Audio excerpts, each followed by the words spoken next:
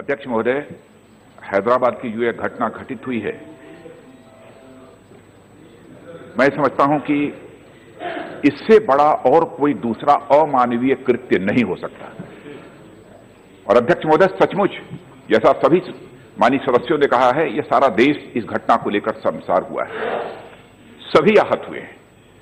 और मैं देख रहा हूँ कि सदन में चाहे किसी भी दल से संबंधित हमारे सदस्य हों सबने इस घटना की जहाँ भर्सना की है, वहीं पर यह भी अपेक्षा की है कि इसमें जो भी अपराधी है, उसे कठोर से कठोर दंड दिया जाना चाहिए। और आप भी जानते हैं अध्यक्ष महोदय कि जब निर्भया कांड हुआ था तो निर्भया कांड के बाद एक कठोर कानून बना था। और लोगों ने उस समय यह मान लिया था कि शायद इस घटनाओं में काफ़ी हद तक कमी आएगी।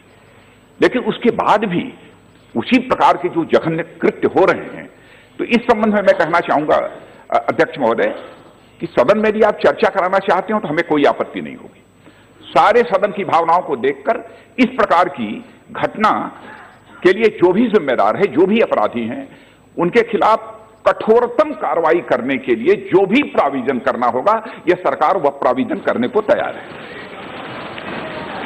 लेकिन यह आपके ऊपर अध्यक्ष महोदय निर्भर करता है कि आप चर्चा कराना चाहते हैं, चर्चा कराइए। सुझाव सुझाव सदन के आने दीजिए। किसी भी सूरत में अध्यक्ष महोदय, सचमुच मैं यह कहना चाहता हूँ, मेरे पास शब्द नहीं है कि जिन शब्दों के माध्यम से इस घटना की मैं भर्सना करूँ। हम सभी आहत हैं।